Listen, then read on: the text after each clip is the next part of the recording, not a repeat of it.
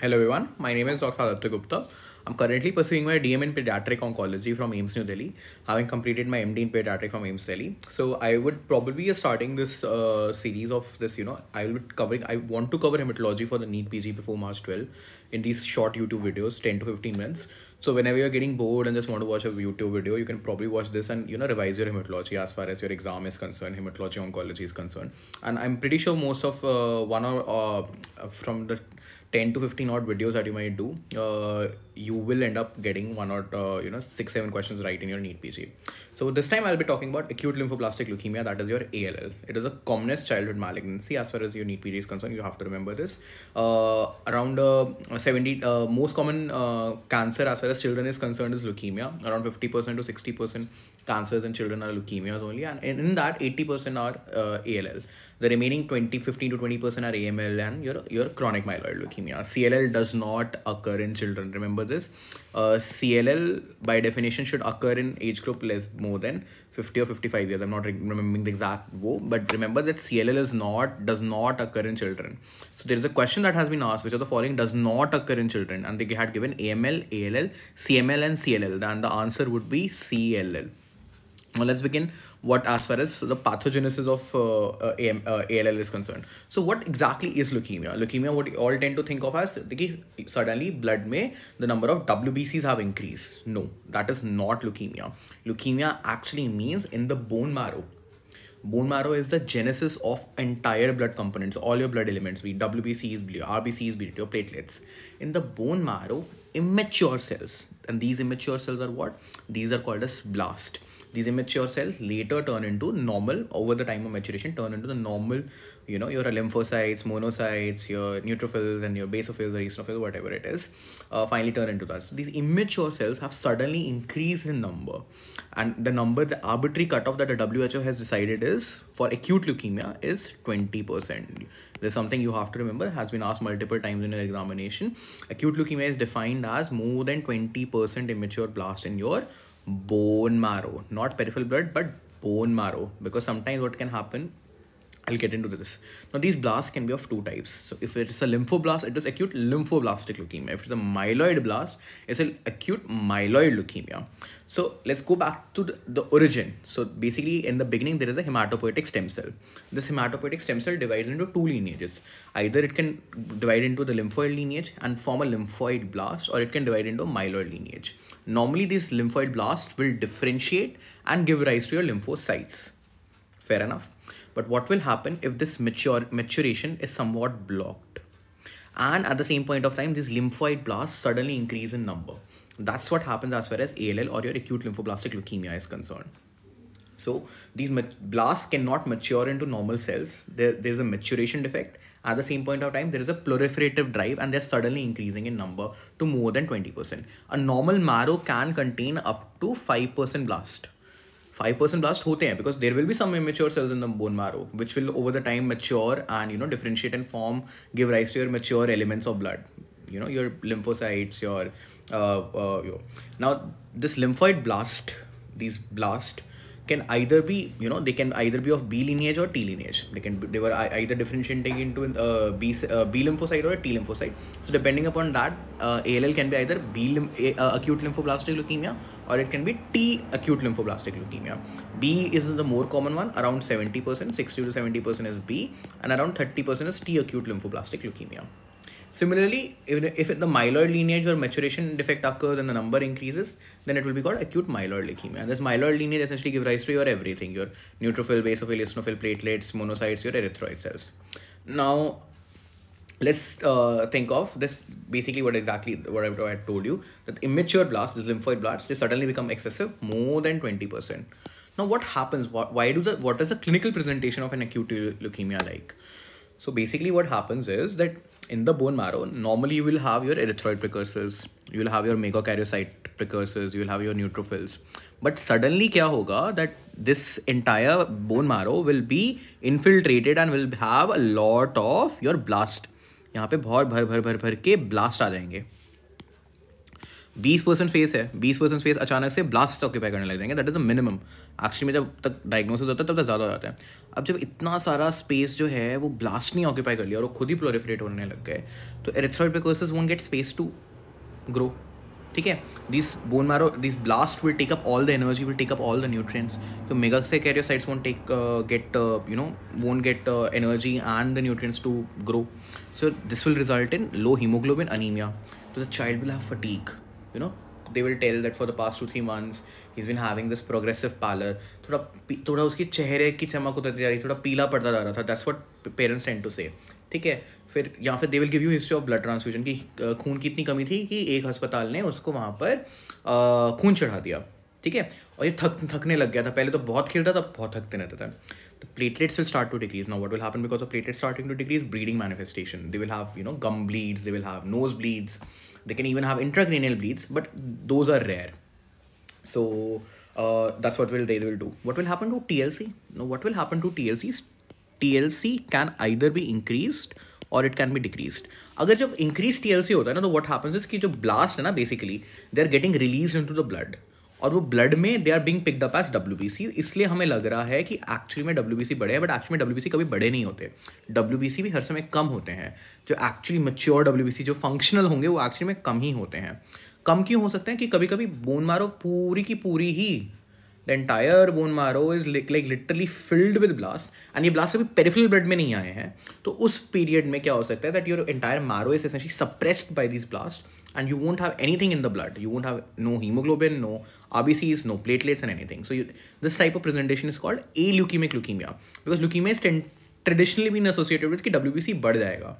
This is not the concept of leukemia. Leukemia actually means कि bone marrow में जो हमारा जहाँ से genesis हो रहा है वहाँ पे 20 परसेंट से ज़्यादा blast है वो ब्लास्ट जब ब्लड में फ्लो करने लगते हैं तो वो डब्ल्यूबीसी को बढ़ा देते हैं but it's not necessary for that to happen what's necessary is to happen for it to be called as acute leukemia is that bone marrow should have more than 20% blast.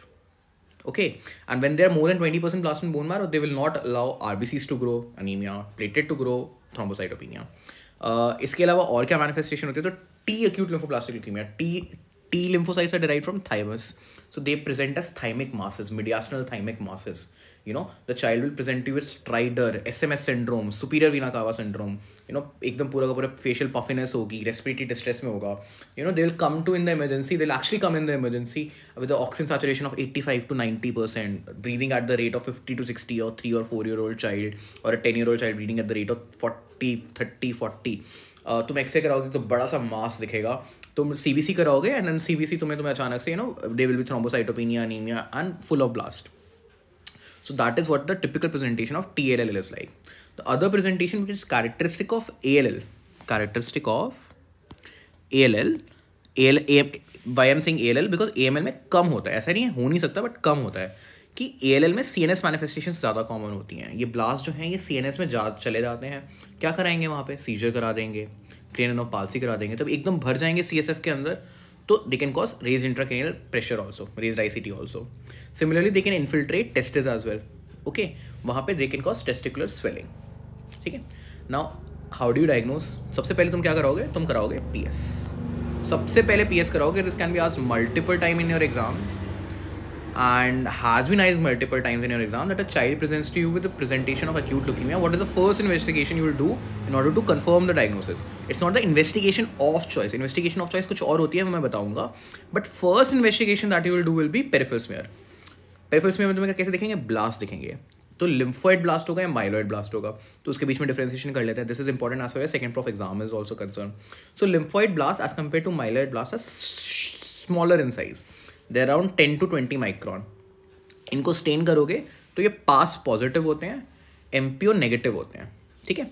इनका nucleus होता है, बहुत बड़ा होता है तो high N C ratio होता है, कोई ग्रैन्यूल्स नहीं होते, और कभी कभी न्यूक्लियर हो जाते हैं। इसको याद कैसे रखोगे? यार बेसिकली ये ब्लास्ट से क्या बन रहा है? लिम्फो ब्लास्ट से बनता है लिम्फोसाइट माइलॉइड ब्लास्ट से बनता है न्यूट्रोफिल है ना? तो ऐसे याद रखना आसान है। न्यूट्रोफिल में क्या होता है? ग्रैन्यूल्स होते हैं होते हैं ना? At the same point of time neutrophil जो होता है लिम्फोसाइट के कंपैरिजन में बड़ा होता है। तो मोर वॉल्यूमनस साइटोप्लाज्म ग्रैन्यूल्स होंगे और न्यूक्लियर होने वाले हैं। ठीक है? So this is the scene as far as your lymphoid and myeloid blast are concern and M MPO positive क्यों होगा? दैट इज़ माइलोपेरोक्सीडेज होता है ना? Myeloperoxidase is present as far respiratory burst में इन्वॉल्व होता है न्यूट्रोफिल्स की, जो हम लोग second chapter of Robbins inflammation में पढ़ रहे होते थे। तो obviously myeloid blast will be MPO positive they also will be NSC positive they will have granules because they will end up, if they had not had this maturation defect, they would have made these neutrophils right तो इनकी मैं pictures दिखा देता हूँ they can be asked अगर ये देखो।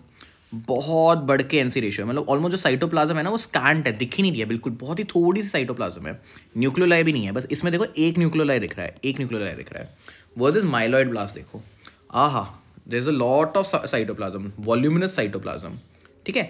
NC ratio इसमें भी हाई होगी but not as high as lymphoblast there will be granules you can see these granules and at the same point of time there are three nuclei एक दो तीन three nuclei that you can see so PS is the initial investigation of choice so you can differentiate कि lymphoid blast है myeloid blast है but कभी कभी ये differentiation peripheral smear पे possible नहीं हो पाती अच्छा smear नहीं बनेगा जो भी है diagnosis के लिए तुम्हें क्या करना होगा बोन मारो में more than twenty percent blast होना चाहिए तो you have to do a bone marrow and actually में उस ब्लास्ट की फ्लो साइटोमेट्री करके देखनी होगी कि वो बी सेल है या टी सेल है या न्यूट्रोफिल या ए एम एल है basically so this is done by flow cytometry. So if they ask you the investigation of choice for diagnosis is bone marrow aspiration, flow cytometry by bone marrow aspiration.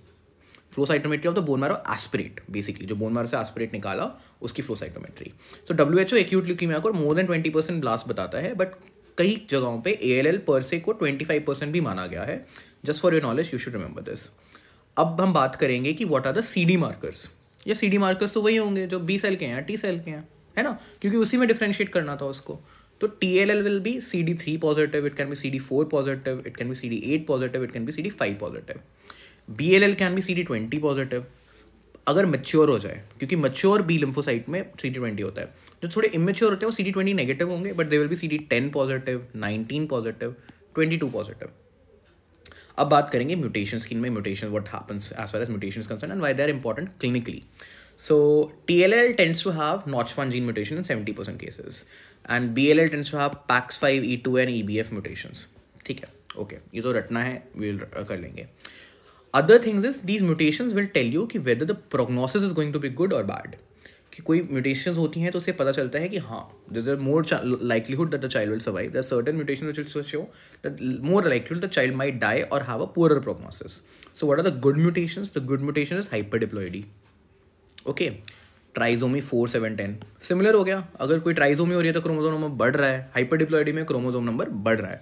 तो hyper diploidy trisomy four seven ten they have good prognosis similarly translocation twelve twenty one also has good prognosis what are the bad prognostic factors hypodiploidy कम हो गए chromosome translocation nine twenty two अब अब तुम कहोगे translocation सी M L में इमार्टनेप से तो सर्वाइवल बढ़े आता है.